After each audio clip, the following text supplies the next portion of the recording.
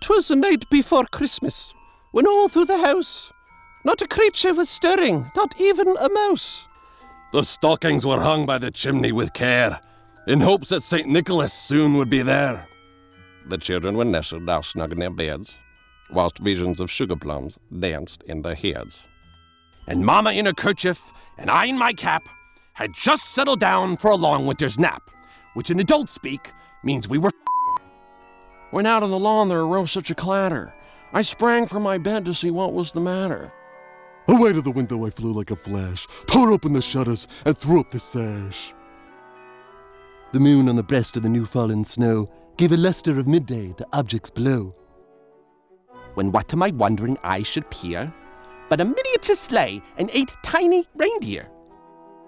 Oh, the little driver so lively and quick, I knew in a moment it must be St. Nick. Well, more rapid than eagles, his coursers they came, and he whistled, and he shouted, and called them by name. Now Dasher, now Dancer, now Prancer and Vixen. On Comet, on Cupid, on Donner and Blitzen. To the top of the porch, to the top of the wall. Now dash away, dash away, dash away, oh, oh, oh. As dry leaves are before the wild hurricane fly, when they meet with an obstacle, mount with the sky. So up to the housetop as coursers they flew, with a sleigh full of toys, and some quaaludes too. Uh, and then, uh, in, in a twinkling, uh, I heard on the roof uh, the, uh, the, the prancing and, and pawing of each little hoof. As I drew in my head and was turning around, down the chimney St. Nicholas came with a bound. Uh, he was dressed all in fur from his head to his foot, and his clothes were all tarnished with ashes and soot. A bundle of toys he had flung on his back, and he looked like a peddler just opening his pack. His eyes, how they twinkled, his dimples, how merry.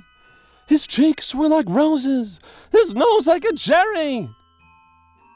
His droll little mouth was drawn up like a bow, and the beard of his chin was as wide as the snow. Stump of a pipe he had tied in his teeth, and the smoke had encircled his head like a wreath. He had a broad face and a little round belly that shook when he laughed, like a bowl full of eggs and bacon. He was chubby and plump, a right jolly old elf, and I laughed when I saw him, in spite of myself. A wink of his eye and a twist of his head soon gave me to know I had nothing to dread. He spoke not a word, but went straight to his work, and filled other stockings, then turned with a jerk. jerk. I laying a finger aside his nose, giving a nod up the chimney he rose.